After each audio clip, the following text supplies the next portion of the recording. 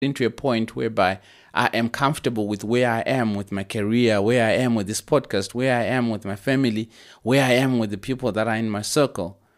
I am never comfortable. I want to do better. I want to know more people. I want to open more doors. I want to challenge myself into achieving that, which when you look at it, you're like, nah, I think that's you being exaggerating or you just being a little bit too ambitious. No, definitely not. And I think you can pick from my voice as well that I'm too excited as I'm speaking about this. And as we always say, every argument and every discussion stops and starts at the Word of God. Because of that, I've got a few Bible scriptures that I'm going to look at as well. As we are bettering ourselves, as we are applauding ourselves, like Paulo said in a, in a podcast, just learning to say, well done. Just learning to say, you know what, you did your best. That is bettering yourself. That's being addicted to.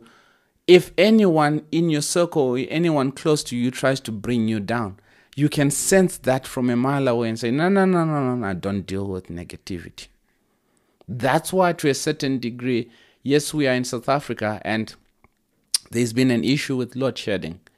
And everyone is going to go on social media and say, ah, this is nonsense. We don't have power.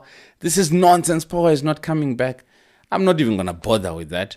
Because even if I complain, I'm just putting myself down. And I'm not going to let anything, any negative energy that has to come into me. And that's the same challenge that I'm posing on to you.